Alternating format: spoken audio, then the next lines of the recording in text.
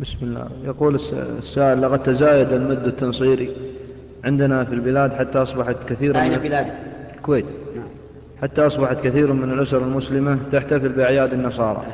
وقام بعض الشباب بتغليل النصارى بلباسهم وزيهم وتعليق بعض بعضهم للصليب على صدورهم.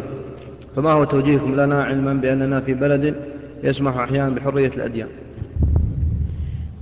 النصيحة في آية من كتاب الله. وهي قول الله تبارك وتعالى يا أيها الذين آمنوا لا تتخذوا اليهود والنصارى أولياء. بعضهم أولياء بعض.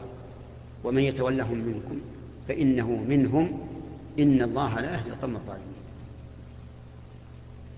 هذه الآية تكفي لكل مؤمن.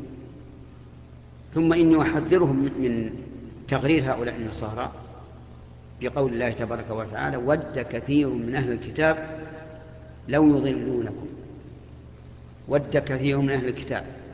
لا يردونكم كفارا حسدا من عند أنفسهم من بعد ما تبينهم الحق. فعليهم أن لا يقتفوا بهذا. وليعلم أن النبي صلى الله عليه وسلم ثبت عنه أنه قال من تشبه بقوم فهو منهم.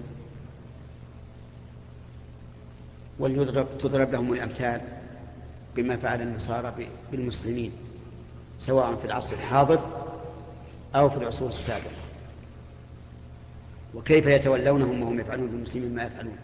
بل كيف يتولونهم وهم أعداء الله ورسوله؟ فالإنسان المؤمن حقيقة لا يمكن أن يقلد هؤلاء.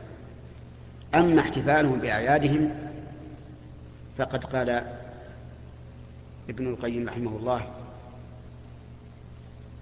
إن, إن هذا إن سلم من الكفر إن سلم من الكفر ففعله من أكبر المعاصي وأشد من إقرارهم على شرب الخمر.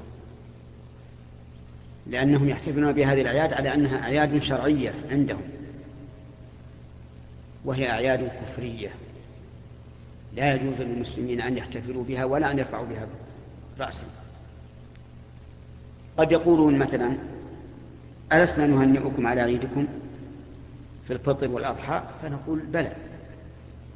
لكن عيدنا عيد شرعي مرضي عند الله, عند الله. وعيدكم عيد كفري مسخوط عند الله. ونحن وأنتم بشر مخلوقون لله متعبدون بشريعة الله. وكان الواجب عليكم أن تحتفلوا بعيدنا وأن تدخلوا في ديننا. فضلا عن أن تحتفلوا بعيدنا. أما نحن فمحرم علينا أن ندخل في دينكم ومحرم علينا أن نحتفل بشرائعكم وشعائركم. عرفت؟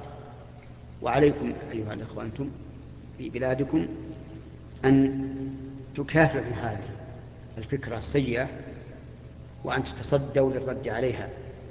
ولكن ليس بعنف لأن العنف لا يولد إلا عنفا فعليكم بالرفق وبيان